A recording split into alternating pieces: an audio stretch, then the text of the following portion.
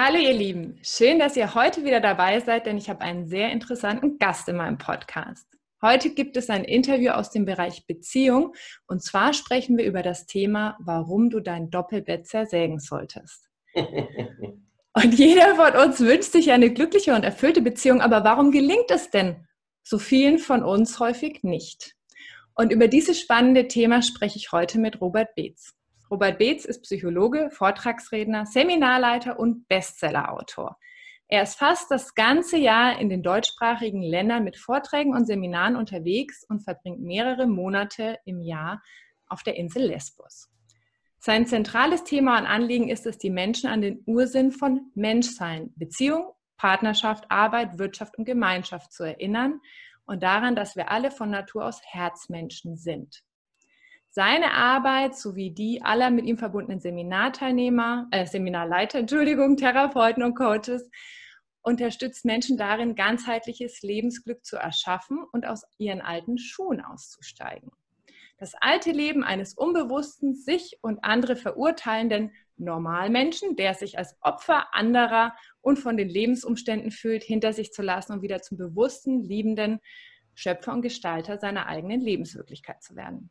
Und ich habe Robert vor fünf Jahren auf einem Seminar persönlich kennengelernt, also auf seinem Seminar, der Transformationswoche. Damals war ich mit meiner Mutter da und das war sehr spannend, weil das für mich so der Beginn meiner zweiten Reise der Persönlichkeitsentwicklung und Spiritualität war. Und deswegen freut es mich heute ganz besonders, dass du, lieber Robert, dir die Zeit genommen hast und hier bei Dein Heile Welt Podcast bist. Herzlich willkommen.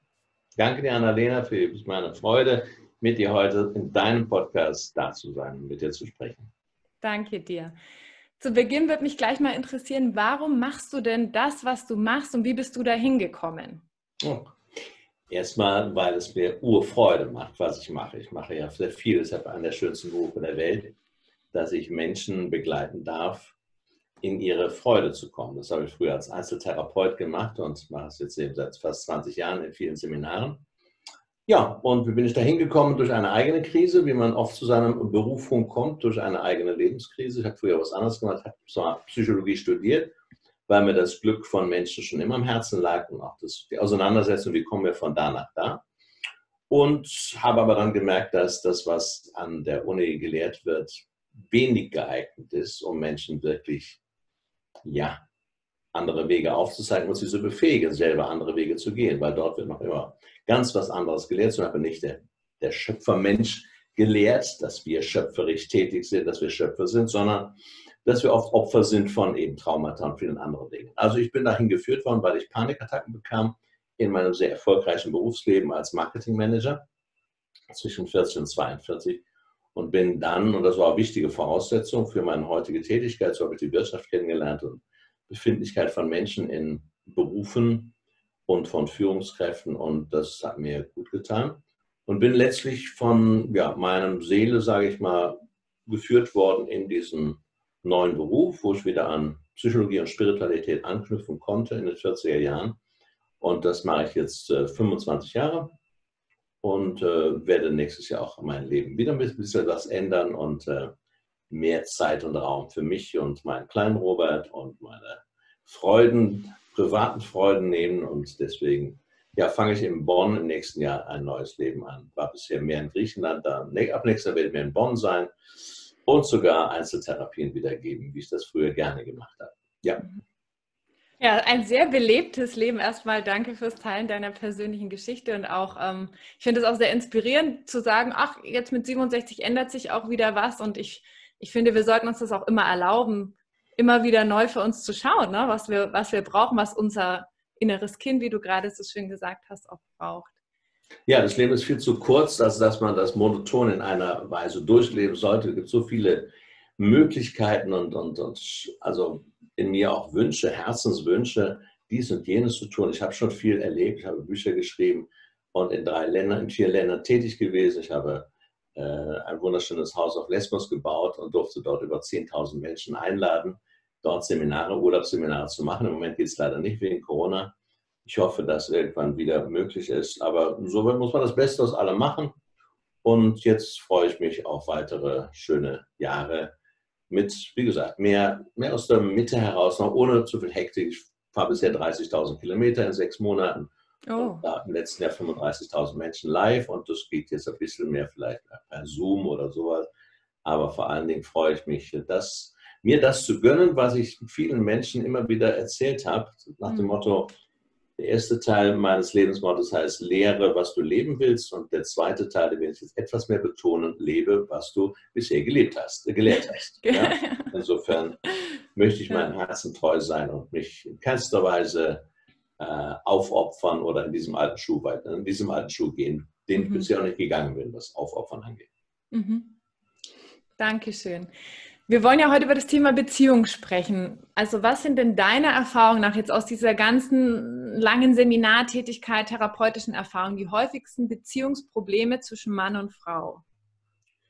Das ist relativ einfach gesagt. Das hängt schon mit unseren alten Schuhen zusammen. Mit dem ersten alten Schuh, den wir, in wir gehen lernen, das ist die Suche und Sucht nach Anerkennung, Liebe und Aufmerksamkeit, in die jedes Kind ja eingeführt wird. Denn ein Kind benötigt und braucht wirklich einen, der ihm Aufmerksamkeit schenkt, es sieht, es wichtig nimmt, es nährt und letztlich ein Stück Liebe gibt. Und diese Liebe können unsere Eltern uns nicht geben aus, äh, in, in, in, in unendlichem, begrenzenlosem Maße und auch nicht bedingungslos. Und da zweitens wir Menschen nicht lernen, im Laufe von Jugendzeit und jungem Erwachsenentum uns selbst die Liebe zu schenken, rutschen wir in dieses Muster hinein, dass wir aus dem Haus gehen und dann das, was Mama und Papa uns gegeben oder nicht gegeben haben, nämlich Aufmerksamkeit und Liebe, dann bei einem anderen Menschen suchen. Bei einem Mann, bei einer Frau, ob in gleichgeschlechtlichen Beziehungen oder auch in heterosexuellen. Das ist dasselbe in Grün. Mhm. Ja, und das heißt, da kommt Braucher zu Braucher. Einer sagt, ich brauche einen Partner, ich brauche Liebe von einem anderen und mit dem Hintergedanken, ein anderer Mensch gibt es da in der Welt, der mich glücklich machen kann. Und das ist ein großer Irrtum. Das glauben immer noch viele Menschen. Ich brauche nur den einen richtigen oder die eine richtige zu finden und die oder der kann mich dann glücklich machen. Das ist Unsinn. Ein täuschender Gedanke, der dann immer zu Enttäuschungen führen muss. Das heißt, alle Täuschungen und Enttäuschungen im Leben, besonders in Partnerschaften, ob es verlassen werden ist, ob betrogen werden ist, ob enttäuscht werden ist und so weiter, beruht auf unwahren Gedanken, auf täuschenden Gedanken. Und ich habe mir Mühe gemacht, eben in Wahre Liebe des Frei und in Raus aus den alten Schulen meiner ganzen Arbeit, versuche ich mal klarzumachen, welche Grundüberzeugungen entsprechen einfach nicht der Wahrheit unseres Herzens, der Wahrheit der Liebe. Und wenn wir also erstens überprüfen, was denke ich, glaube ich bisher über mich, über das Leben, über die anderen und kann herausfinden, was nicht wahr ist, dann kann ich mein Denken korrigieren. Ich kann also neu denken lernen über mich, über Frau sein, Mann sein, Körper, Sexualität etc. Und äh, da, darin besteht ein Großteil meiner Arbeit, dass ich A, auf neue, ja, meinem Leben eine neue Richtung geben, heißt mein Lebensmotto, heißt mein Arbeitsmotto, dass ich Menschen erlaube oder zeige, wie man neu denkt, welche andere Perspektive es gibt und dann zweitens mit Gefühlen anders umgeht und dann auch eben mit sich und seinem Partner neu umgehen kann. Also es geht letztlich um, wie kann die Liebe wirklich neu und anders gelebt werden. Das ist das Grundthema meiner Arbeit. Die Liebe spielt die zentrale Rolle. Was ist Liebe? Was geschieht aus Liebe und was geschieht aus Angst? Mhm. Ja, wir werden in dieser Zeit sind wir in der Transformationszeit und die treibende Kraft dieser Transformationszeit heißt Liebe. Und in diesen Jahren werden alle Energiesysteme, dazu gehört auch Partnerschaft und Familie, durchgerüttelt und geschüttelt und auf eine neue Basis gestellt. Heißt, die alte Form von Partnerschaft, Beziehung und Liebe ist auf Dauer nicht mehr lebbar. Das betrifft besonders die Bedürftigkeitsbeziehung, mhm. die besagt, ich habe einen Bedarf und du kannst meinen Bedarf decken. Ja? Wo zwei Bedürftige zusammenkommen und denken, sie könnten sich gegenseitig das geben, was sie sich bisher selbst nicht geben. Das geht nicht. Und darum ist die Selbstliebe für Mann wie für Frau eine wunderbare Basis für eine glücklich erfüllte Beziehung. Mhm. Das ist ja auch das, was man jetzt so in dieser Zeit, also jetzt auch so seit ein paar Jahren habe, ich habe so den Eindruck, besonders in diesem Jahr so sehr sieht, dass alles, was irgendwie nicht, nicht darauf beruht, jetzt irgendwie kaputt geht. Und ich glaube, deswegen rüttelt es auch viele Menschen dieses Jahr so durch. Und mich hat es auch ja. bislang durchgerüttelt, muss ich ganz ehrlich sagen, Warum? weil da schon gerade was passiert, ne?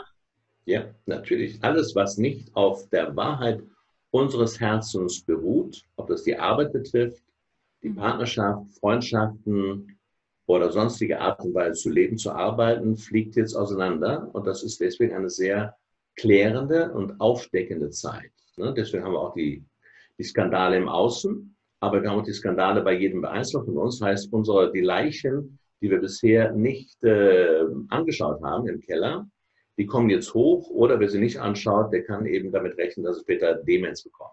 Mhm. Ja, gestern wieder, immer wieder fragen mich Frauen, mein Mann ist, war so, er war sportlich, hat vier Sprachen gesprochen, er war so aktiv, beruflich erfolgreich. Wieso, ganz wütend, wieso wird mein Mann Demenz? Ja? Mhm. Und ich sage, ich stelle nur ein paar Fragen. Hat er seine Gefühle gefühlt? Durfte er schwach sein? Hat er sich gezeigt, schwach und so weiter? Sagt, nee, voll getroffen hat er nie. Nie, nie, nie über bestimmte Sachen geredet, über früher und über Schwächen schon gar nicht. Nur um ein Beispiel zu nennen. Mhm. Und so sind viele Männer und Frauen erzogen worden.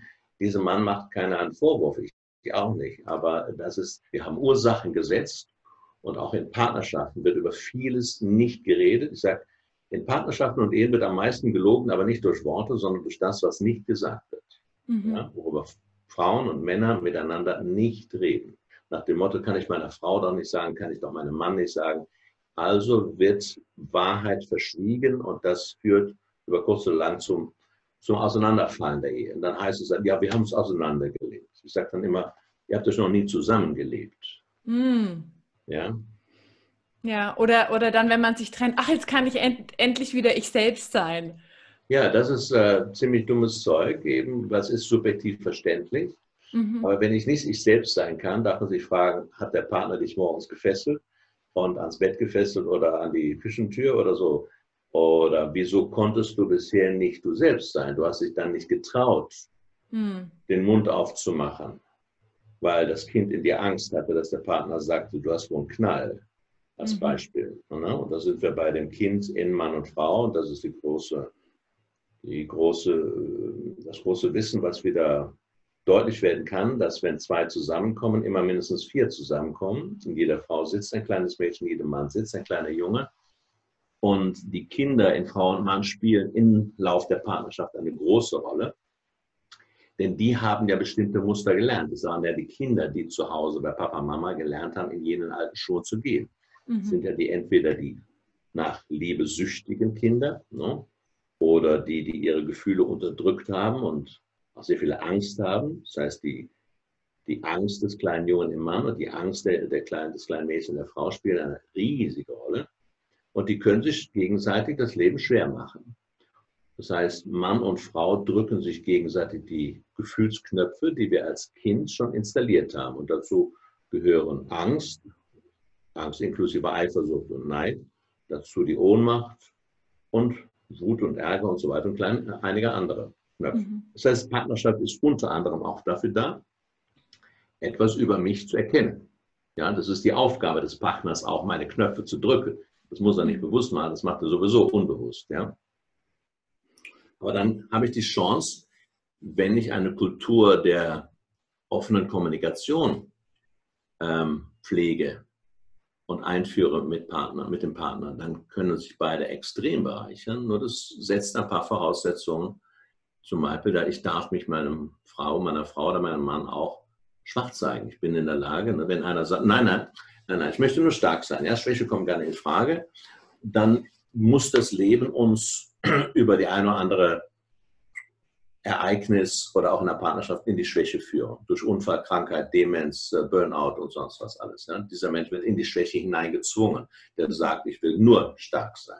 Mhm. Ja, ja, es ist ja auch immer so das äh, Thema Polarität. Ne? Im Leben ist immer beides. Und äh, das hast du ja auch mal so schön gesagt, äh, die Mutter, die sagt, oh, ich bin immer nur ordentlich, die bekommt sowas von eine unordentliche Tochter, die ja alle Knöpfe drückt und du nennst es ja so wunderschön auch, das sind dann deine Arschengel. Also eigentlich sind es Ärsche, also wir sagen, du bist ja. ein Arsch, aber eigentlich sind es Engel und da auch zu sehen, dass Partnerschaft so wertvoll ist, dich selbst weiterzuentwickeln und zu erkennen ne? und zu heilen vor allen Dingen.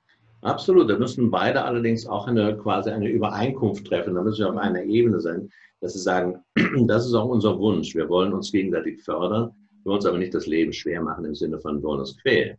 Mhm. Aber wir sind uns gewiss, wir können nicht alle Bedürfnisse deines kleinen Kindes kann ich nicht be be befriedigen, erfüllen. du darfst einen großen Teil auch dir selber schenken. Wenn du, liebe Frau, dich selbst liebst, dann fällt es mir leichter, auch mich zu lieben. Mhm. Und dann, ich bin nicht dafür da, dein Vater. Ich bin nicht wieder dein Vater, ich bin nicht dein Sohn, ich bin nicht dein, was immer, dein Therapeut, dein Retter. Das sind ja viele Ehen und Partnerschaften, sind ja Vater-Tochter-Beziehungen, Mutter-Sohn-Beziehungen oder Bruder-Schwester-Beziehungen. Und da ist kein Leben drin, kein Eros auch drin. Bei vielen, die länger dauern, sind oft Bruder-Schwester-Beziehungen, wo im Bett auch nichts mehr abläuft. Ja? Mhm.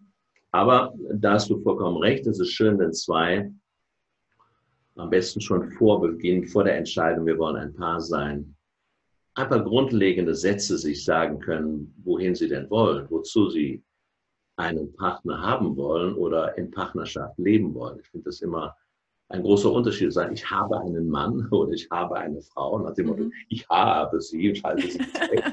ja? Oder ich sage, ich bin in Beziehung. Na, das sind mhm. zwei völlige Welten. Ich bin in einem lebendigen Energiesystem namens Partner- und Liebesbeziehung ja. und bin bereit, diese Beziehung zu pflegen.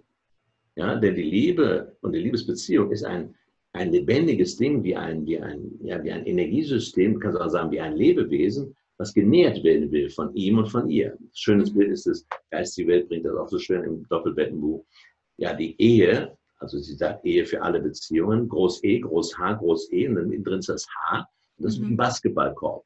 Und er darf da was reintun und sie darf da was reintun und er darf da was rein und sie. Das ist Nähren. Ja, das sind Kleinigkeiten. Danke, Schatz, dass du da bist. Und hier, guck mal, ja, da darf sich er, der Mann und die Frau, beide liebevoll bemühen, pflegen.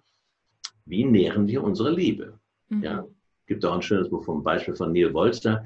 Wir verlieben uns nicht in den anderen. Wir verlieben uns in die Liebe zwischen uns beiden. Mhm. Ja, es war so ein schönes Bild. Er steht da, ein Raum, zwei Türen, da die Tür, da steht sie, da steht er. Die gucken sich an und was dann passiert in der Mitte des Raums, was da zusammenkommt, in das verlieben die beiden sich. Ja, das fand ich ein sehr schönes Bild. Mhm. Ja, toll. Du hast auch gerade noch mal gesagt, dass manchmal ist es irgendwie so Vater-Tochter, Mutter-Sohn-Beziehung. Warum entsteht das denn? Wie können wir uns auch davon lösen? Also so dieses Elternthema, was wir ja immer mit in die Beziehung nehmen immer. Das heißt, das muss erstmal begriffen werden, dass meine Beziehung aus der Kindheit zu Papa und Mama grundlegend ist für die Gestaltung und für die Wahl der Pachten des Partners. Das heißt, ich sage, das ist, klingt extrem, meine ich aber auch so, niemand ist frei in der Wahl seines Partners und auch in der Gestaltung seiner Partnerschaft, solange er mit Papa und Mama verstrickt ist. Und alle müssen sich verstricken. Warum? weil in der Kindheit immer Mama oder und Papa beide die Macht haben und du hast keine Macht. Du musst dich anpassen.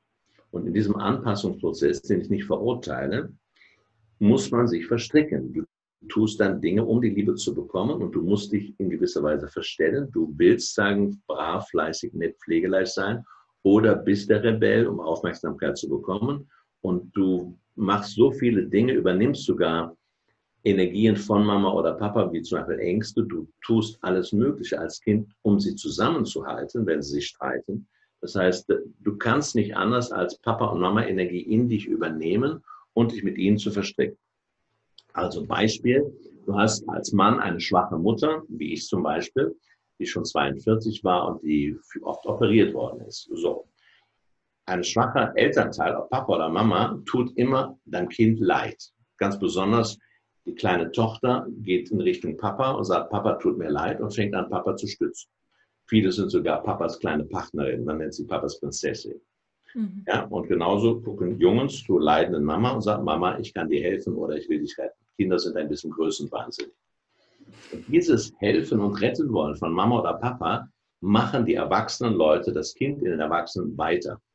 Mhm. Auf Deutsch, wenn du einen schwachen Vater hattest, suchst du als Tochter instinktiv automatisch wieder einen schwachen Mann in 90, 95 Prozent aller Fälle und treibst das Spiel da weiter. Das heißt, dieser schwache Mann ist der Stellvertreter von Papa, den du weiter retten, stützen willst, obwohl du das vom Kopf natürlich gar nicht willst. Und genauso ist das bei den Männern, die sich Frauen aussuchen, die sie entweder erziehen oder die sie wieder retten wollen. Natürlich stützt das dein Selbstwertgefühl. Ich verdiene die Kohle, Schätzchen, und du darfst dich da frei entwickeln und so weiter, du darfst deine Boutique haben oder sonst was. Mhm. Ja.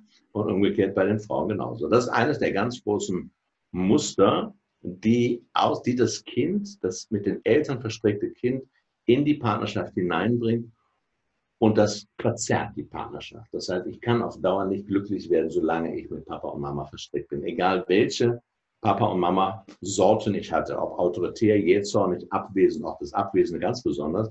Viele Frauen fragen, wieso ist mein Partner immer weg? Auf der Arbeit oder er geht weg. Mhm. Die erste Frage bei mir ist immer, was hast du für Papa gehabt? Und dann sagt sie, ja, der war auch immer weg. Ja, entweder haben die Eltern getrennt früh oder er war immer auf der Arbeit und er war so selten da. Das heißt, sie erlebte den ersten Mann ihres Lebens meist abwesend oder fortgehend. Und das sitzt drin.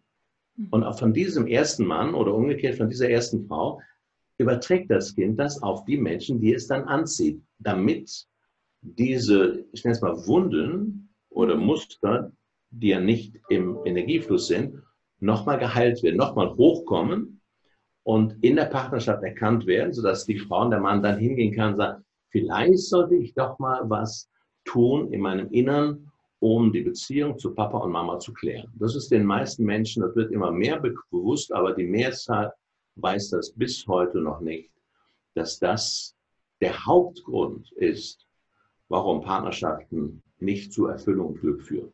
Mhm.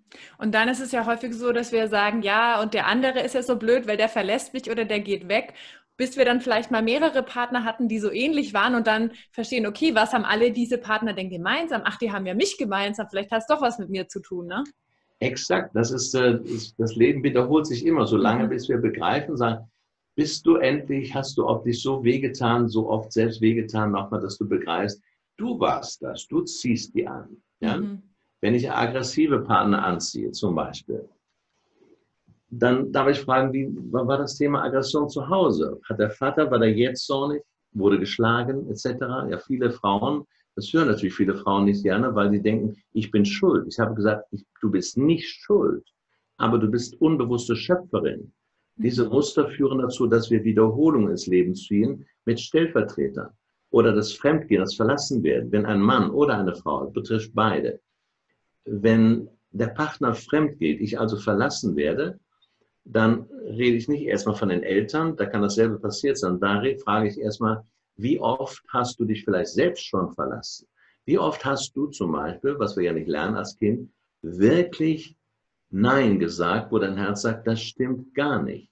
Das hat niemand von uns gelernt in der Kindheit. Keine Mutter bringt bis heute ein Kind bei, oder Papa, du, wenn ich was sage, Schatz, dann sag Nein, wenn es nicht stimmt für dich. Ja? ja? Das ist bisher noch nicht der Fall. Die ersten fangen damit an, das sind ganz mhm. wenige. Das heißt also, jeder von uns, du wie ich, wir alle draußen, haben mehr oder weniger oft ihr Herz verraten.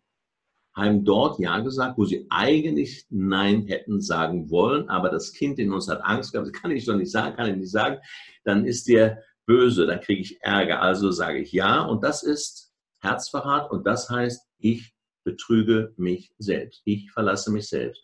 Und wer das öfter gemacht hat, der darf sich nicht wundern, dass der Partner oder die Partnerin dasselbe mit mir macht. Mhm. Ja, was ich hier auf der Stirn stehen habe, wenn ich sage, ich liebe mich nicht wirklich, dann steht hier, bitte lieb, lieb du auch mich nicht. Mhm. Ja? Bei manchen steht sogar, bitte hau mir eine rein. Mhm. Ja? Weil wir selber mit uns sehr unliebevoll umgehen. Insofern ist die Partnerschaft wie der Arbeitsplatz ein, ein ganz wichtiger Ort, für Selbsterfahrung, Selbsterkenntnis und Reifung. Ja, ganz mhm. wichtig. Der Partner dient uns, bewusst oder unbewusst, dient uns, um letztlich unsere Herzenswahrheit zu finden und zur Liebe zu finden. Mhm. Und deswegen dürfen wir allen Ex-Partnern dankbar sein, auch wenn das nicht viele sind. Wir dürfen die Ex-Partner bitte würdigen. Sie haben uns in bestem Sinne gedient, egal wie hart es zugeht. Und ja. wir haben sie gebraucht. Du hast noch nie den falschen Partner gehabt. Gibt es nicht den falschen Partner. Mhm. Ja, es gibt in meinem Leben im Leben keine Zufälle, keine Unfälle. Es gibt nur meist im Nachhinein, wenn einer bereit ist, sinnvolle Ursache-Wirkungsbeziehung. Mhm. Ja, du hast ja auch so schön gesagt, dieses Thema Trennung oder wie lang eine Beziehung dauern soll oder wenn sie auseinandergeht, ja, unsere Beziehung ist gescheitert. Mhm. Da hast du ja auch nochmal eine ganz andere Perspektive drauf, ne? Ja, das ist dummes Zeug oder sagen wir, das ist eine Verurteilung, zu sagen, wir sind gescheitert. Wir haben in die Partnerschaft 10, 20 Jahre, aber dann die 20 Jahre intensivste Lebenserfahrung gemacht. Diese, mhm. ja, das war ein gemeinsames Schöpferwerk. Partner, egal welcher Art sie sind, erschaffen etwas Gemeinsames. Nochmal, diese Ehe, diese Beziehung ist ein Produkt von zwei Schöpfern, Schöpfer und Co-Schöpfer, egal ob einer getrunken hat, einer geschlagen hat, einer fremdgegangen ist oder sonst was. Mhm. Und diese Erfahrung sagt, ich wollte unsere Seele machen, nicht um sich selber zu quälen, sondern nochmal als Teil eines Selbsterkenntnisprozesses. Herauszufinden, was ist Liebe und was ist nicht Liebe. Und darum mhm. begegnen wir Menschen und manchen häufiger, beziehungsweise in mehreren Partnerschaften und andere schaffen es früher, die Kurve zu kriegen und wieder andere halten durch. Heißt, sie finden sich mit wirklich unbefriedigenden Beziehungen ab. Und das fliegt jetzt in dieser Transformation sehr stark auf. Mhm. Merkst du denn bei deinen Seminarteilnehmern und äh, bei den Menschen, mit denen du arbeitest, dass da erstmal so ein Widerstand ist? Manchmal meine Seele wollte das, weil gerade wenn Menschen äh, Gewalt erfahren oder viel Drama in der Beziehung ist, oder merkst du, die können sich mit diesem Gedanken, ah, meine Seele will das irgendwie erfahren, um was in die Heilung zu bringen, anfreunden? Nein, damit falle ich bestimmt nicht ins Haus. Das lasse ich die Leute selber erkennen. Also ist, äh, damit kannst du nicht anfangen mit dem Thema, ne? aber die, mhm. sondern da darfst du langsam ranführen, wie du selber sagst an deinem Beispiel wenn es dir zwei, drei, vier, fünfmal passiert ist, dann kratzt sich dieser Mensch am Kopf und sagt, könnte ich eventuell was selber damit zu tun haben. Ich möchte nochmal betonen, es geht hier nicht um Schuld, ja, sondern das ist ein Schöpferspiel, ein Spiel zwischen zwei unbewussten Schöpfern, bei denen sich einer oder beide oft als Opfer fühlen, als Opfer des anderen, ne? als mhm. Opfer des fremdgehenden Partners, als Opfer des schlagenden Partners, als Opfer des trinkenden Partners und so weiter, als Opfer des depressiven Partners und so weiter. Ja? Und ähm, das ist dieses Schöpferspiel kann ich erkennen, wenn ich bereit bin. Wenn ich bereit bin, die Tür etwas zu öffnen und sagen,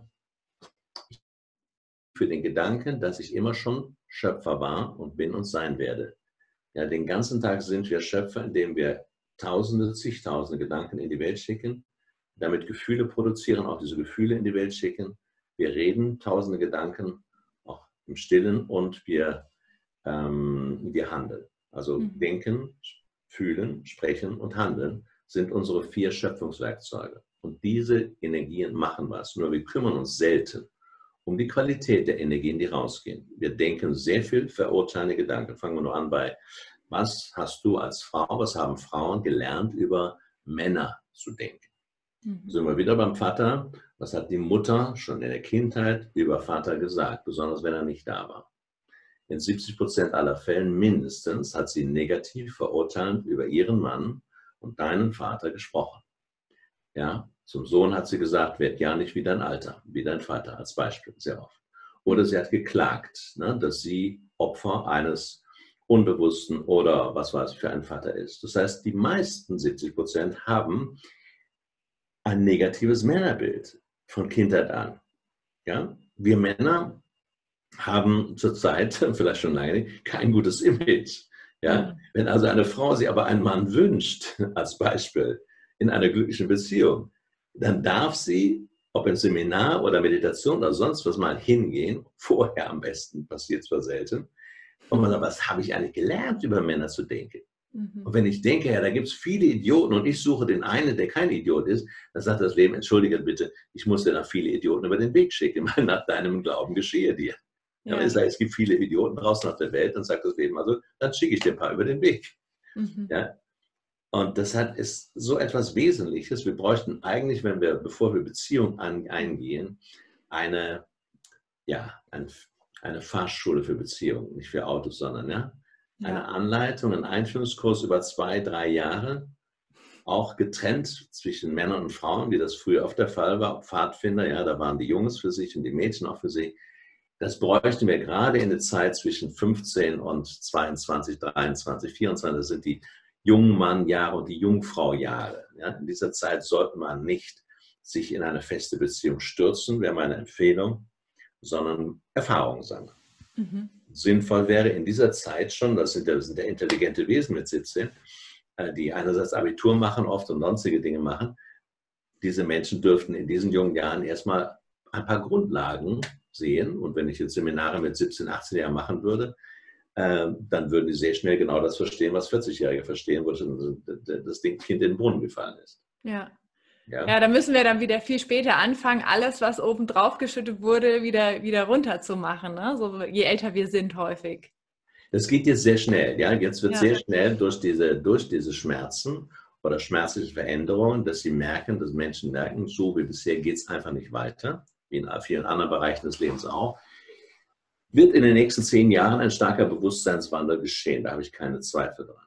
Ja, mhm. weil es einfach, wer sich einmal damit auskennt, der, dem fällt es wie Schuppen von den Augen. Sagt, wieso mhm. habe ich das vorher begriffen? Ja?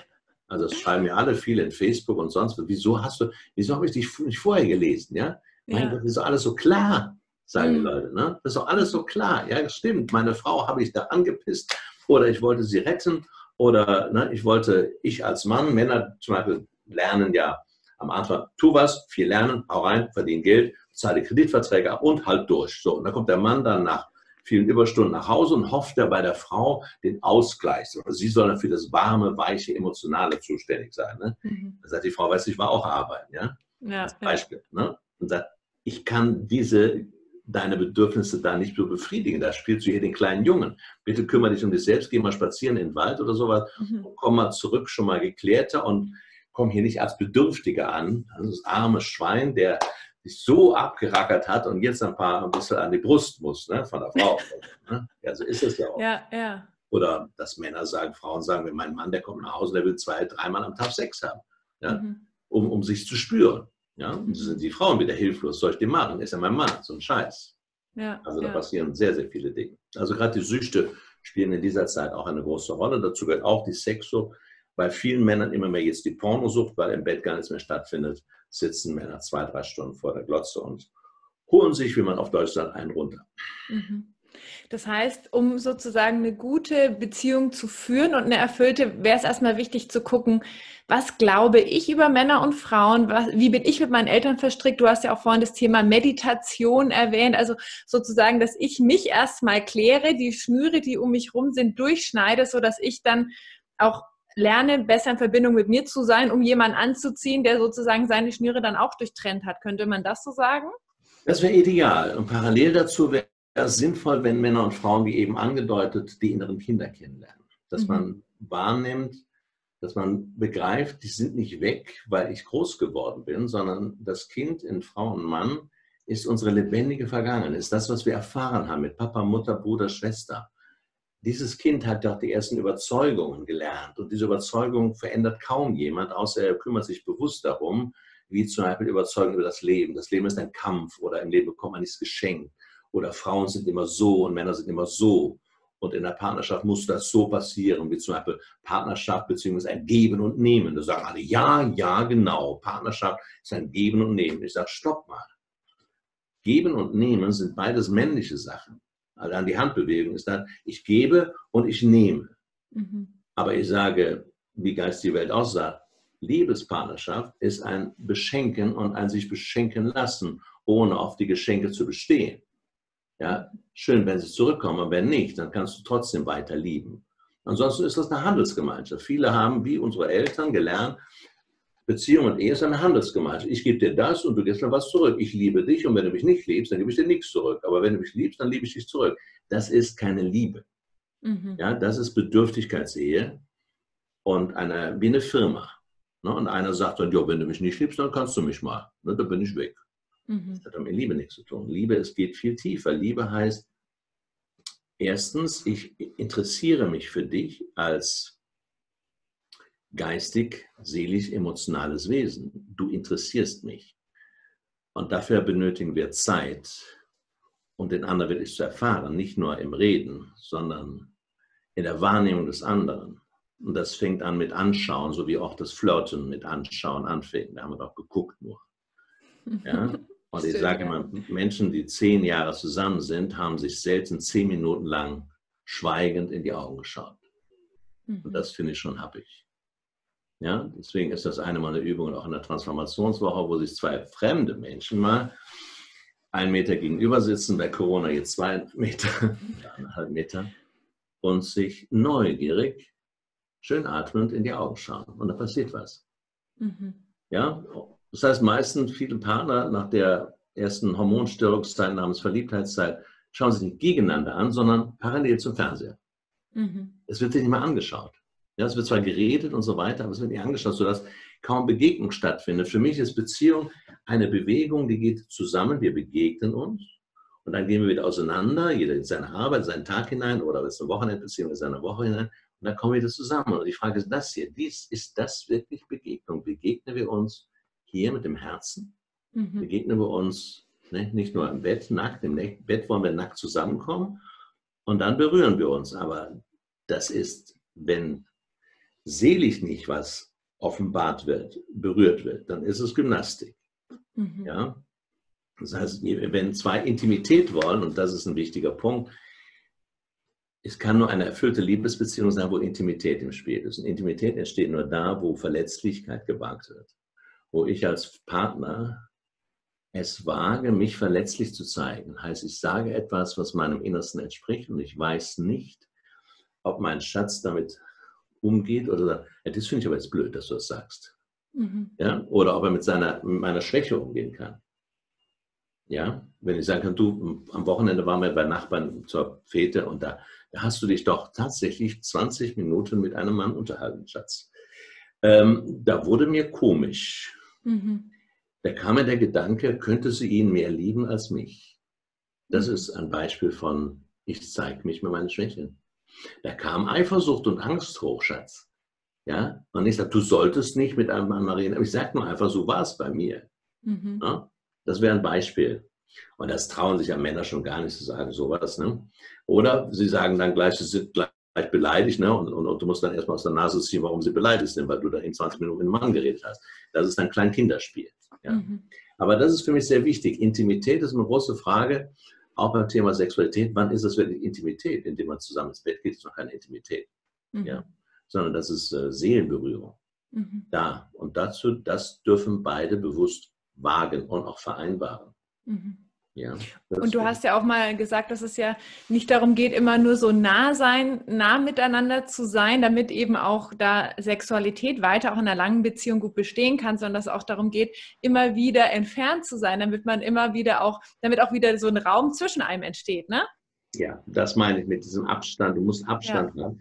Erstmal, wenn kein Abstand da ist, sehe ich nicht. Wenn du so, so nah bist an mir, ja, dann sehe ich, bist du meine Mutter oder meine, meine Frau. Ja, ne? Ich kann erst erkennen, wenn ein Abstand, ein gesunder Abstand, also auch ein mhm. respektvoller Abstand, du bist erstmal eine Frau und ich bin erstmal ein Mann und nicht du bist, wer ist das? Ne? Nach 10, 20 Jahren heißt es dann bei einer Frau, wer ist das? Ach, das ist nur mein Mann. Das ist nur ja. mein Mann. Ne? So, da merkt man, wie die Leidenschaft schon längst weg ist und die Neugier. Ne? Viele glauben nach fünf Jahren, meinen Mann, meine Frau, die kenne ich schon ganz gut. Ne? Und da fängt die Ehe, die Liebe an zu sterben. Wenn ich mir einbilde, einen anderen Menschen, meine Frau oder meinen Mann, gut zu kennen, dieser Mensch täuscht sich komplett, denn er kennt sich selbst kaum. Mhm. Und da passiert nichts Neues mehr. Ich mache sozusagen einen, einen Bilderrahmen um eine Frau, hängen sie an die Wand und sagt, da hängt sie, die bleibt. Ja, die verändert sich dann nicht mehr, die hängt in meinem Rahmen. Mhm. Geht die Frau dann nach zehn Jahren irgendwann, hat plötzlich einen anderen Mann und sagt, ja, wie, wie schafft sie das denn? Das, das, ne? Weil der andere Mann hat seine Frau ganz anders gesehen, ganz anders mhm. wahrgenommen, nicht eben in diesem komischen Rahmen. Ja? Mhm. Da fallen viele dann aus allen Wolken, wenn der Mann, der Partner oder die Partnerin auf einmal mit einem so attraktiven Menschen daherkommt. Mhm. Mhm. Ja, ich, ich fände es gerade nochmal so schön, dieses Bild mit dem Rahmen, auch wirklich immer neugierig zu bleiben, ja. den anderen in einem neuen Licht zu sehen, zu entdecken und aber auch bei sich selbst. Also ich denke mir auch manchmal bei mir, ach, das ist ja interessant, das hätte ich jetzt nicht gedacht oder wie auch immer. Also auch diese Neugier sich selbst gegenüber auch beizubehalten. Ne? Bravo. Das heißt, die, die Basis, um neugierig auf den anderen zu sein, sage ich, ist die Neugier auf dich selbst, das liebevoll neugierige Interesse an dir selbst. Wir sind so komplexe Wesen. Mhm. Wenn ich jetzt sage, jeder bei uns, 7,7 Milliarden Menschen auf der Welt, sind einfach Unikate, sowas Tolles, so wunderbare Wesen der Liebe, göttliche Wesen mit grenzenloser Schöpferkraft. Und wenn die meisten sagen, er hat einen Schuss ab. Ne? Nein, ich habe nichts getrunken. Ja? das heißt, die meisten glauben durch ihre Erziehung, ich kenne mich schon ganz gut. Was kennen wir? Wir kennen nur die Gedanken der anderen über uns. Wir sagen, der mhm. Robert ist das und das und das, ist fleißig, erfolgreich und das, das und das. Schützt Kasten zu. Verstehst du? Das Lebendige ist, wir ändern, erstens verändern wir uns noch. Wir können uns jeden Tag verändern. Das Leben ist permanent eine, ein Fluss. Mhm. Dein Körper verändert sich jede Minute. da gibt es keinen Stillstand. Gibt im ganzen Universum keinen Stillstand. Entsprechend gibt es auch nicht in einer Ehe und Partnerschaft wirklich einen Stillstand, weil in ihr findet Veränderung statt, in ihm. Aber beide können trotzdem erstarren, mhm. können mhm. stehen bleiben. Und das ist der Tod der Liebe und auch der Tod der Partnerschaft. Denn viele sind jetzt, sowohl in Partnerschaft als auch im Beruf, innerlich stehen geblieben. Und das fatale Ergebnis davon, die Folge davon ist, dass der Körper dann auch sagt, wenn du dich nicht weiter bewegst, geistig, in deinem Bewusstsein, in deiner Partnerschaft, in deinem Lieben, dann muss ich auch stehen bleiben. Und dann gibt es die großen Gelenkprobleme, Kniegelenke, Hüftgelenke, Schultergelenke, Kreuzbein. Dann erstarren auch die Körper. Und das tun jetzt sehr viele. Ich frage immer wieder in meinen Vorträgen, wer hat in den letzten fünf Jahren eine Einschränkung seines Bewegungsapparates erlebt? 50 Prozent meistens in dieser Zeit. Mhm. Eine Menge. Das ist grassiert. Und ist nicht bewusst, dass es mit geistiger Beweglichkeit zu tun hat. Mhm. Ja, das heißt, Empfehlung an alle Frauen, an alle Männer, bewegt euch geistig weiter. Da kannst du joggen gehen wie verrückt. Mhm. Ja, das hat nichts mit geistiger Bewegung zu tun, sondern, wie du sagst, sei neugierig, habe Interesse und dafür brauchst du aber Zeit. Frau wie Mann brauchen erstens Zeit für sich. Mhm. Deswegen in einer Woche meine Empfehlung, mindestens einen Abend nur für dich als Frau, nur für dich als Mann. Wenn ihr Kinder habt, dann sorgt der Gegenseite dafür, versorgt die Kinder. Aber Frau wie Mann hat mindestens einen Abend für sich alleine. Mhm. Ein anderer Abend oder ein Abend in der Woche und ein Abend im, im, am Wochenende nur für die Partnerschaft, für den Schatz. Ob er ins Bett geht oder nicht, aber beide dürfen sich klar machen, was nährt uns beide, was macht uns beiden wirklich Herzensfreude. Also jetzt nicht der Tatort am Sonntagabend, das meine ich nicht. Das nährt nicht so besonders. Es kann ganz nett sein, ja. Mhm. Aber wichtig ist, wo hat sie, wo sagt, wo sagt ihr beide am Ende, ah, das war schön gestern, das war richtig schön gestern, da habe ich so richtig gefreut. So mhm. Freude gehabt, ja. Das war schön. Ob man zusammen essen geht, auch zusammen ins Kino geht, eine ganz andere Qualität. Zusammen einen Nachtspaziergang macht und mal was Verrücktes macht. Ja? Mhm. Den anderen mal überrascht mit etwas, mit einem Ticket für eine Stadt, wo er noch nie war oder so. Nur für ein Wochenende als Beispiel. Da gibt es so viele Möglichkeiten, ein bisschen Bewegung drin zu halten. Aber wichtig ist, es ist mir wichtig, Schatz, dir zu begegnen und mit dir mindestens einmal die Woche einen Abend ganz allein zu sein. Mhm. Das, das ist nährend. Und da kann man noch ein bisschen kreativ sein, wie gesagt, mit Überraschungen kommen. Und nicht so, mhm. wir machen immer dasselbe, dann gehen wir um die Ecke, die Kneipe oder was. Ne? Mhm. Ja, so ein bisschen, wie du ja auch gesagt hast, am Anfang. Ne? Also so wie ist es denn am Anfang in einer Beziehung? Da sind wir neugierig, da strengen wir uns an. Ja da sind, wollen wir den anderen entdecken, dieses Verbinden miteinander und dann irgendwann kommt dieses, wie du gesagt hast, in den Rahmen, an die Wand und so, ich kenne dich jetzt. Jetzt habe ich einen Partner und so weiter. Genau, da passiert nicht mehr viel. Mm. Und das ist sehr schade, aber wie gesagt, es geht einher mit der Langeweile mit sich selbst. Das heißt, mm. man ist dann auch nicht neugierig auf sich. Das hängt mit unserem Menschenbild zusammen. Ja? Wir sind aber hier auf dem Weg. Das Leben ist für mich eine Wanderung hin zu uns selbst. Hm. Und der eine ist darauf neugierig und der andere sagt, ich, ich, bin nicht bereit, ich glaube nicht, dass noch was Neues kommt. Und das ist dann schon fast der Anfang von Depression, das Stehenbleiben, Erstarren. Ne? Mhm. Das heißt, wir können wählen. Und das, es geht nur dann, wenn ich wähle, ich habe eine erste, die erste und wichtigste Beziehung ist die zu mir, zu mir selbst. Und das ist eine mentale, emotionale, eine körperliche und eine handlungsmäßige. Ich behandle mich so oder so, überfordere mich oder nicht, als Beispiel. Ja? Mhm. Und das ist so eine spannende Beziehung. Du bist zwar 24 Stunden mit dir zusammen und trotzdem haben die meisten eine unbewusste Beziehung zu sich. Das fängt ja morgens an, wenn ich morgens wach werde, die Augen aufmache und höre, was denke ich jetzt über diesen Moment, über den neuen Tag. Da entscheidet sich, wie einer durch den Tag geht. Ob einer sagt, hey, ein neuer Tag, danke. Danke, dass ich leben darf. Danke für diesen neuen Tag. Da mache ich doch was draus. Ja? Und wenn ich dann rechts gucke und bin im Bett mit einem anderen, und würde ich ihn heute wieder heiraten? Ne? Diese, immer eine kleine Testfrage, sage ich morgens. Ja. Ne? Ob, da noch, ob da noch die Freude, die Liebe und die Neugier ist. Mhm. Und die Dankbarkeit ist. Ne? Dankbarkeit, Dankbarkeit ist auch etwas sehr Wichtiges für eine Partnerschaft. Bist du deinem Partner wirklich dankbar? Jeden Tag, jeden Abend dass sie, dass er da ist. Ja? Mhm. Und wenn das einer einübt, dann wird er auch dankbar sein nachher für die Krisen, die beide gemeistert haben, für die Knöpfe, die der Partner gedrückt hat bei mir. Das ist sehr, sehr wichtig, dass man das wertschätzt. Ja, da. Damals vor zwei Monaten, ich hätte dich umbringen können. Mhm. Und dann haben wir aber den Weg gefunden, zusammen zu reden. Und das hat uns näher gebracht. Mhm. Ja. Das sagen viele Paare, nachdem da die Krise wirklich die, die Kacke am Dampfen war, wie ich sage, und wir haben miteinander geredet, mit oder ohne Paartherapeut, und seitdem sind wir uns näher gekommen. Ja, wahrscheinlich, weil du ja auch gesagt hast, es hat ja viel mit Enttäuschung zu tun. Ne? Was denke ich, was erwarte ich vom anderen und zeige ich mich denn? Und wenn wir bei einer Krise ist ja häufig so, dass dann irgendwie alles zusammenbricht, wir uns dann zeigen und dann entsteht natürlich eine andere Nähe, weil ja dieses Bild, was wir hatten, diese Erwartungen dann irgendwie erstmal weg sind. Ne? Exakt. Du sprichst ein wichtiges Thema an Erwartungen. Ich sage immer, Erwartungen sind ein Gift für die Liebe. Mhm. Ja, wer Erwartungen an seinen Partner hat, der muss enttäuscht werden. Warum? Weil er, weil es die Aufgabe des Partners ist, die Erwartungen zu enttäuschen. das klingt ein bisschen hart. Ich sage, du kannst Wünsche haben. Du kannst sagen, mhm. Schatz, ich würde mir wünschen, du würdest jede Woche einmal massieren. Mhm. Aber überlässt es dem Partner, ob er es kann und will. Ja, Wünsche ist wunderbar, auch für die Kommunikation. Schatz, ich würde mir wünschen, wir könnten ab und zu mal wirklich jede Woche einen langen Spaziergang machen oder du würdest mir mir helfen bei der Kindererziehung oder im Haushalt ein bisschen mehr tun und so weiter. Das würde ich mir wünschen, deine Socke nicht überliegen lassen und sowas alles. Ähm, aber ob er es kann, ähm, das nur dahingestellt sein lassen. Ja, wenn ich sage, ich erwarte, hör mal rein in das Ding, du solltest, Erwartungen gehen immer mit soll daher. Ja? Mhm. Du solltest mehr Zeit für mich haben. Du solltest aufmerksamer für mich sein. Du solltest mir wirklich zuhören. Du solltest weniger trinken. Das sind alles Erwartungen.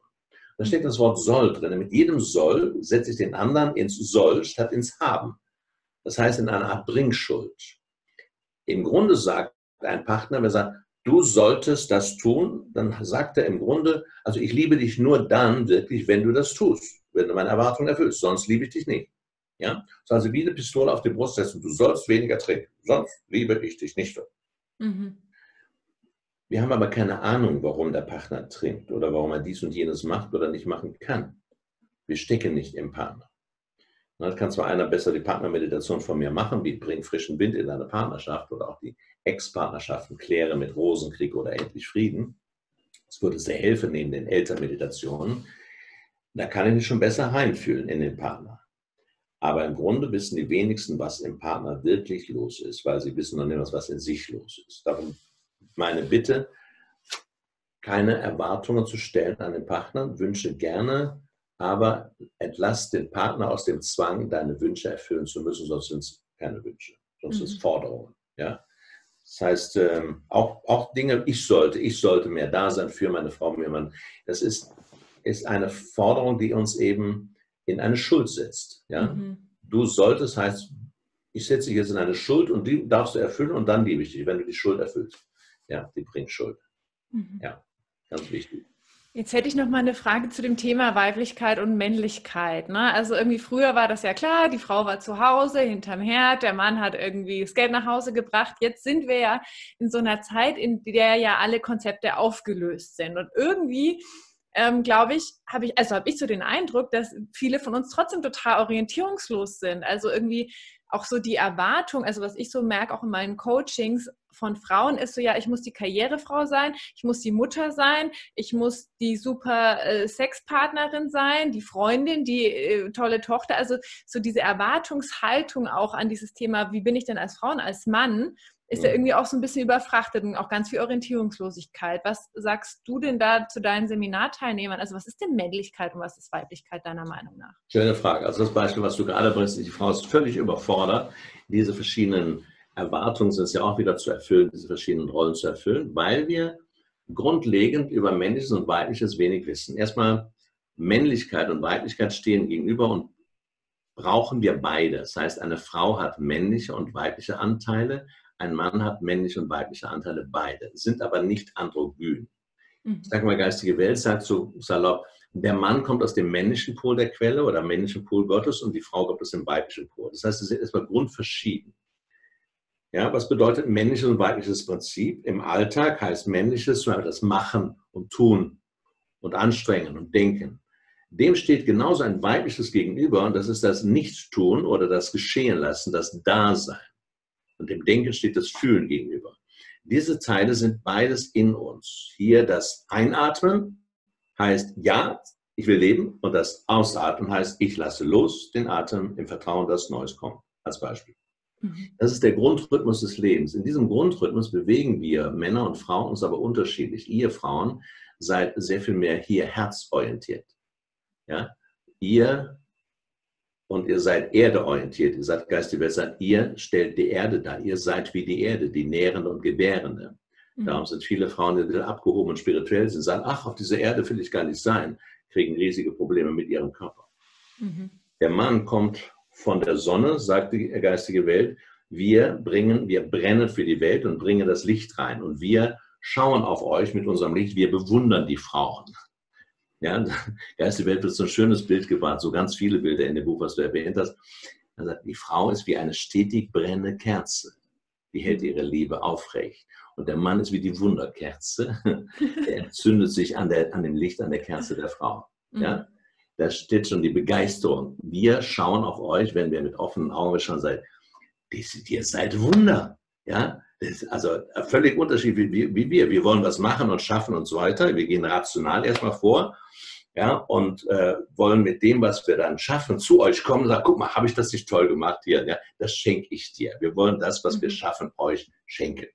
So ist so ein, eines der Grundbilder. Mhm. Eine Frau, die jetzt sagt nein, besonders wenn sie ihre Mutter ablehnt, das ist die erste Frau in ihrem Leben ablehnt, ist sie in der Gefahr, ähm, in eine einseitige Männlichkeit zu rutschen, weil sie sagt, ich will ja nicht schwach sein. Das haben wir jetzt bei sehr vielen Frauen in den letzten 30 Jahren gehabt, die einseitig männlich geworden sind. Nicht nur die äußeren, sondern auch die inneren Hosen angezogen haben und sehr hart geworden sind zu sich. Das hat große Folgen gehabt. Die sind zwar oft eine tolle Karriere gemacht, aber haben damit 45, 50 spätestens einen Gebärmutterhalskrebs oder Brustkrebs. Mhm. Weil sie innerlich gesagt haben, Frau sein, hm, also weich sein, hm, nee, nee, verletzlich sein, gar nicht gut. Das heißt, sie sind einseitig den harten männlichen Leistungsweg gegangen. Ihr Körper sagt aber, hey Schätzchen, du bist aber eine Frau. Und mhm. wenn du nicht weich sein kannst, wenn du nicht Gefühle fühlen kannst, wenn du nicht schwach sein kannst, wenn du nicht Gefühle ausdrücken kannst, wenn du das kleine Kind, das kleine Mädchen in dir nicht in den Arm nehmen kannst und wirklich kannst du nicht trauern kannst und so weiter, dann muss ich dein Körper dir zeigen, was Sache ist. Und das mhm. geschieht bei vielen Frauen an Brust, Eierstöcken und Gebärmutterhals ganz besonders viel. Mhm. Diese männlichen Frauen können auch keinen wirklich wahrhaft männlichen Mann anziehen. Die ziehen meistens weiche, süße, nette Bubis an. Ja, das heißt, es ist immer komplementär. Eine harte Frau, eine harte männliche Frau zieht einen weichen Mann an. Das sind die Kleider vertauscht. Das sagt die geistige Welt auch. Wir haben die Kleider vertauscht. Ihr habt die Hosen angezogen und wir haben unsere Eier verloren, beziehungsweise bei unserer Mutter gelassen. Deswegen mhm. meine beste Meditationsidee heißt, Mutter, gib mir die Eier zurück. ja.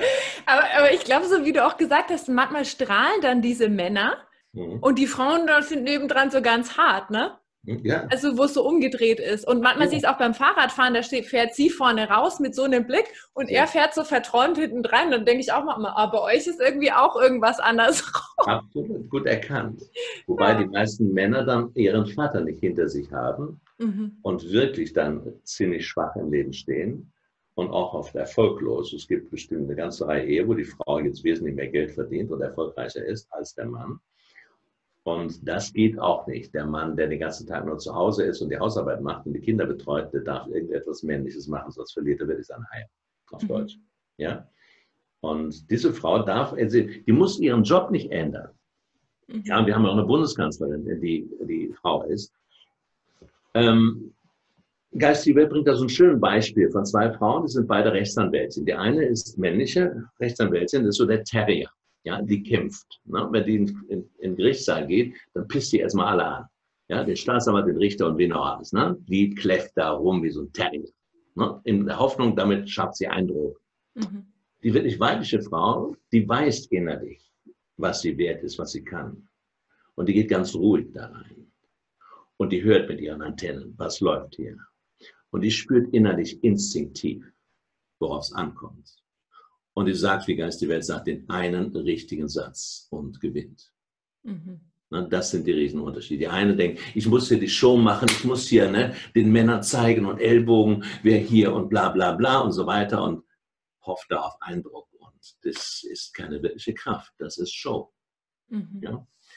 Und deswegen sind wir gerade, werden Frauen wie Männer vom Leben gezwungen, das zu korrigieren, in einer Balance zu kommen. Und Geist die Welt sagt, ihr Frauen könnt so zwei Drittel weibliche und ein Drittel männliche Anteile haben und wir Männer, wenn es gut kommt, zwei Drittel männliche und ein Drittel weibliche. Beide brauchen ja beides. Das mhm. Denken und das Fühlen, das Entscheiden können und sonst was.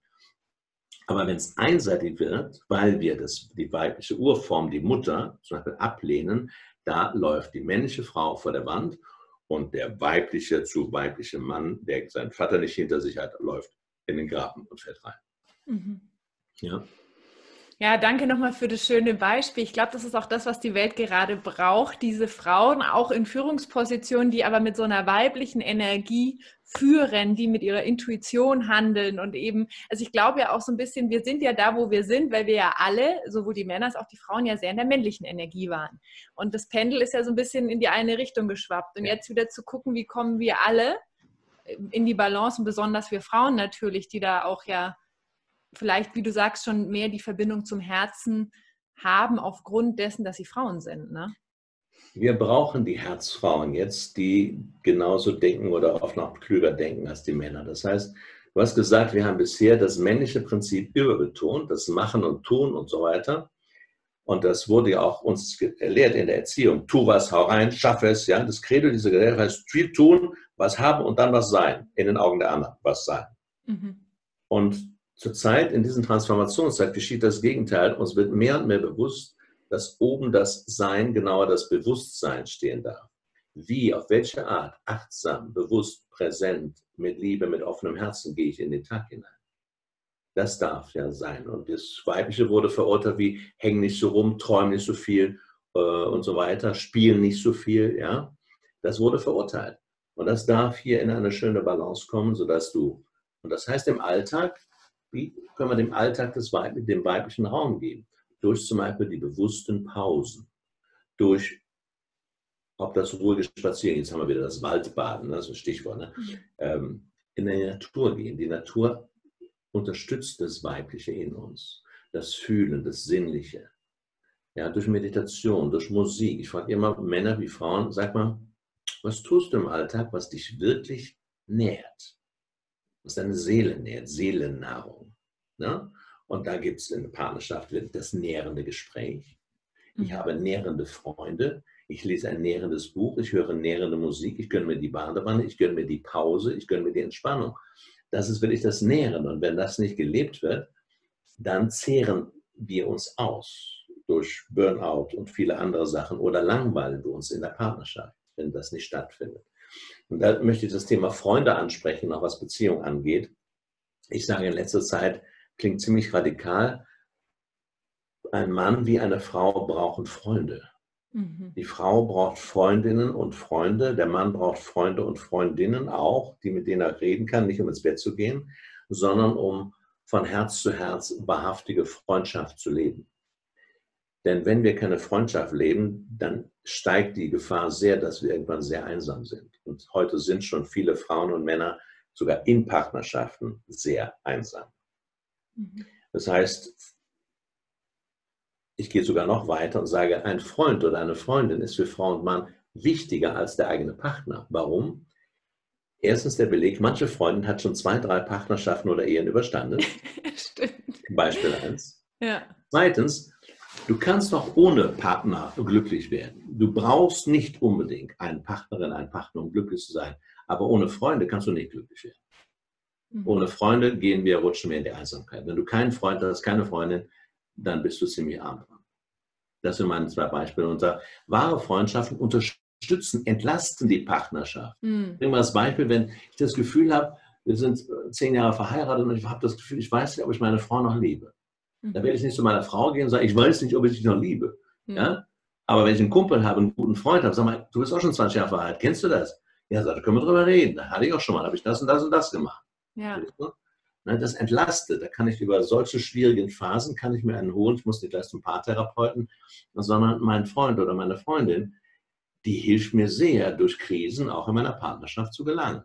Mhm. Das ist etwas, was meistens tabu ist. Das Kind in der Frau sagt, was hast du? Musst du schon wieder zu deinem Freund gehen? Ja? und so weiter, die Angst hat, die eifersüchtig ist, die wird das verhindern wollen. Und das ist nur dumm. Denn nochmal diese wichtigen Freundschaften, ich meine wirklich wahre Herzensfreundschaft, ne? in dem man auch über seine Schwächen reden kann. Ich meine nicht den Sportclub allein, mhm. sondern wo wirkliche Begegnung stattfinden kann. Das halte ich für eine Partnerschaft oder Ehe für ganz, ganz nährend und wichtig. Und du sagst ja auch, Frauen sollen sich bei Frauen aufladen energetisch ja. und Männer bei Männern, also dass es auch so wichtig ist, also, dass, also auch um wahrscheinlich diese Energie wieder mehr zu leben, oder? Ganz, ganz wichtig. Männer haben sich von Männern getrennt, äh, sind nicht so, haben nicht den Zickenkrieg wie die Frauen miteinander, aber laufen so nebeneinander her, bis im Sportclub und so weiter, Kumpel, Kollege, ja, okay, okay. Aber wir haben größten Schiss, auf Deutsch, uns unser Herz zu öffnen für die Schwächen oder um Männern, anderen Männern unsere Gefühle zu zeigen. Da hat jeder zweite Mann die Angst vom Schwulsein. Äh, das kann ich doch nicht machen. Äh, mhm. Bei uns in spirituellen Kreisen ist es schon lockerer, da umarmen Männer ohne andere Männer, ohne Angst haben, dafür als schwul bezeichnet zu werden. Ja? Das mhm. können wir ganz herzlich machen.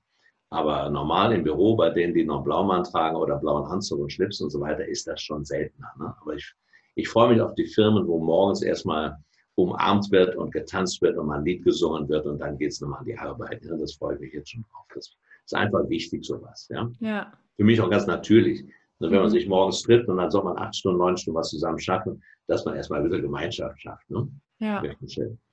ja, das fühlt sich auch so ein bisschen nach der neuen Zeit an. Ja, die wird auch kommen, bin ich sicher. Aber nochmal, es kommt in der neuen Zeit auch die neue Partnerschaft, mhm. die ein bisschen anders aussieht, ich habe mhm. so ein paar Kriterien, Eckpunkte mal genannt. Wichtigste ist nochmal, um zusammenzufassen, erstmal die Liebe zu dir selbst, mhm. die Selbstfürsorge, die den Partner entlastet. Die Partnerin ist nicht deine Mutter, die ist nicht dafür da, deine Dinge auszubügeln, die du dir selbst nicht schenkst, sondern du darfst dir selbst Liebe, Aufmerksamkeit, Fürsorge schenken und das entlastet den Partner, ne? dass du abends nicht kaputt und frustriert nach Hause kommst mit so einer Fresse, und hm. deine Partnerin denkt, oh Gott, der ist wieder eine arme Sau oder so, muss ich ihn wieder aufpeppeln und so. Ne? Das ist nicht die Förderung, sondern wenn du als Mann und als Frau sorgst dafür, dass du abends gut gelaunt nach Hause kommst, weil du schon einen Waldspaziergang gemacht hast oder noch was anderes, was dir gut getan hat und bist dann schon halb geklärt, hast innerlich was geklärt, was heute am Tag energetisch in dir los war und bist dann ganz Ohr für deinen Schatz und sagst, Schatz, wie geht's dir? Schaust in die Augen, Ne? Und was mhm. machen wir heute Abend Schönes? Mhm. Ne? Das ist ja. eine ganz andere Form. Es muss doch schön sein, wenn man abends zusammen ist, zwei, drei Stunden und wirklich bewusst im Ja zusammen zu sein. Sonst geht man besser in sein Zimmer, das ist gut, eben sein eigenes Zimmer zu haben da und sagen, du, heute Abend bin ich sowas von dicht. Mhm. Ich brauche jetzt mal Ruhe, ich setze meine Kopfhörer auf, heute Abend vielleicht vorm Schlafen gehen komme ich vorbei und gebe noch einen guten Nachtkuss oder rede noch ein halbes Stündchen miteinander. Aber im Moment bin ich dicht und brauche meine Ruhe in meinem Zimmer. Deswegen mhm. sind die eigenen Zimmer schon sehr hilfreich, wenn man den Genuss hat und das Geld hat, zu sagen, wir haben zwei einzelne Zimmer. Genau, das wäre jetzt auch noch meine letzte Frage gewesen, bevor wir zu den vier Fragen am Ende kommen. Also der Titel ist ja, warum du dein Doppelbett zersägen solltest. Und ich habe das vor ein paar Jahren damals gehört und habe mir gedacht, oh Gott, das ist ja krass. Und dann habe ich das in mehreren Büchern zum Thema Beziehung gelesen, habe das jetzt selbst auch mit meinem Freund schon eine Weile ausprobiert. Wir finden es herrlich. Jetzt mal aus deiner Perspektive, was hast du damit gemeint? Was sind die Vorteile davon? Ja, damals war es noch äh, eine, ähm, eine Metapher von der geistigen Welt aus meinem Buch eben. Zersägt mhm. eure Doppelbetten. Das ganze Zitat heißt, zersägt eure Doppelbetten und macht Rollen darunter. Ja, mhm. das heißt einfach, bringt einfach Abstand in eure Beziehung. Das bezog sich jetzt gar nicht nur aufs Bett, mhm. sondern bringt Abstand in eine Beziehung und äh, bringt frische Luft hinein. Das heißt, erlaubt euch die Freiheit, in einem eigenen Bett zu schlafen, gebt euch jeder seinen eigenen Raum, damit ihr atmen könnt und damit ihr aus diesem Raum freiwillig auf den anderen zugehen könnt. Ja, und das, wir brauchen einfach äh, eigene Räume, damit der Mann sich zurückziehen kann für sein Mann sein, die Frau für sich und dass sie dann freiwillig zu sagen, und jetzt habe ich Lust, mit dem anderen zusammen zu sein. Allein unter einem Dach zu wohnen, das ist eine Wohngemeinschaft, das ist noch keine Liebesbeziehung. Und mhm. diese Liebesbeziehung braucht Raum, Luft zum Atmen. Die Frau wie der Mann brauchen Luft, um ihre Gefühle zu fühlen, brauchen Luft, um sich zu entspannen, brauchen mal Luft, um in Ruhe ein Buch zu lesen oder eine Musik zu hören und dann nicht beim anderen zu sein. Das ist viel mehr Liebe, wenn ich dann sage, Schatz, wie wäre es heute Abend eine Stunde? Hättest du da Lust, zusammen Spaziergang zu machen? Ja? Mhm. Oder darf ich dich morgen zum Essen einladen? Ja, das ist was ganz anderes. Das ist noch nach zehn Jahren ist das, ich werbe um die Frau. Mhm. Oder ich mache dem Mann einen tollen Vorschlag und sage, dass, dass sie daran denkt, das finde ich ja toll. Ja, das ist noch etwas Spannendes. Aber sonst eben wie beim Doppelbett, da kommen zwei Menschen komplex voller Ängste oder Stress zusammen und dann gehen sie, legen sie beim Doppelbett, selbst wenn das vier Meter breit ist, immer im Energiefeld des anderen. Mhm. Du kannst nicht in deinem eigenen Energiefeld legen, mhm. liegen. Das ist viel besser, dass man öfter in seinem eigenen Energiefeld legen kann, um dann zu sagen, so und jetzt überlappen wir unser Energiefeld und dann spüren wir uns mal. Aber das ist dann sehr bewusst gewählt. Das ist bewusste Liebe. Mhm. Das ist nicht Gewöhnung. Ja, das größte Problem unserer heutigen Ehe ist Routine, Gewöhnung und Langeweile. Mhm. Ja, wie gesagt, da wird nicht mehr, ist mehr neugierig. Mein Mann, wie gesagt, kenne ich schon ganz gut, da kommt nichts mehr. Und das ist der Tod der Liebe, das wissen wir alle. Mhm. Ja, danke nochmal auch für dieses Beispiel mit den Energiefeldern. Ich glaube, das ja, es macht einfach total Sinn und das ist ja auch das, was uns am Anfang so anzieht. An dem anderen ist das Unbekannte, die Distanz und natürlich, wenn wir dann nur noch nebeneinander lieben, ne nebeneinander immer reden und immer zusammen sind, dann irgendwann ist das so ein Brei, ne? Wir drücken uns die Luft ab. Wenn wir immer zusammen sind, die Kinder, wenn die Kinder zusammenhalten, jetzt halten wir uns ganz fest und du gehst aber bitte nicht weg, dreh dich nicht um, das steht eine Frau, ja, bleib ja bei mir und du, du sag mir, dass du mich liebst, sag mir, dass du mich liebst. Dieser, dieser Satz, ja, wenn der mhm. kommt, sag mir, dass du mich liebst. Das heißt letztlich, also ich liebe dich nicht mehr, vielleicht liebst du mich, ja. Mhm. Der, sag mir bitte, bestätige meine, meine, meine Zweifel oder nimm mir meine Zweifel weg. Liebst du mich? Dieser Mensch liebt sich nie. Ein Mensch, der hm. sagt, sag mir, dass du mich liebst, liebt sich selbst in keinster Weise, ist ein kleines, ängstliches Kind und sagt, bitte decke du mir meinen Liebesbedarf. Ich kann es selber nicht. Mhm. Ja? Ja. Ja, danke nochmal dafür. Ja. Jetzt kommen wir zu unseren letzten vier Schlussfragen. Und die erste Frage ist, was sind die drei größten Learnings oder Weisheiten, die du bis zum heutigen Zeitpunkt in deinem Leben gelernt hast? Das muss jetzt gar nichts mit Partnerschaft zu tun haben. Liebe dich selbst und die Menschen lieben dich. Mhm. Ähm, öffne dein Herz und entscheide dich, den Weg deines Herzens zu gehen. Erkenne, was das Herz für Führungsqualitäten hat und frage dich grundsätzlich immer, was würde die Angst tun oder was würde die Liebe tun und folge der Liebe.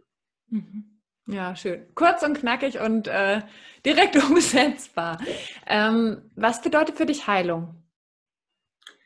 Heilung bedeutet für mich Wiedererinnerung an das Göttliche in mir selber, dass wir uns wiedererinnern, wer wir wirklich sind. Und das sind göttliche, heilige Wesen, die das, was sie bisher erschaffen haben, sich vergeben in Ordnung bringen, innerlich aufräumen und ihr Herz öffnen für die Liebe. Und die, das einzige Heilmittel, was wirklich heilt, ist die Liebe. Und diese erinnert uns wieder, dass wir da, wo wir herkommen, und das, was wir wirklich sind, immer heil ist und immer heil bleibt.